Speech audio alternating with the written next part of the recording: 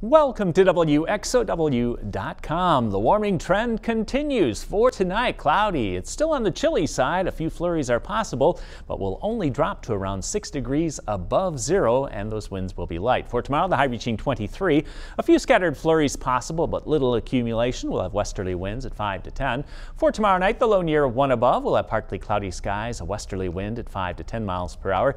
The extended going into Friday, mostly cloudy. The high reaching near 20 degrees, partly cloudy and 26 on Saturday. For Sunday, a moderate chance for snow showers with a high of 34, partly cloudy and 40 on Monday. For Tuesday, mostly sunny and 42. And for Wednesday, partly cloudy, the high reaching near 40 degrees. Tune in to News 19 for more complete details.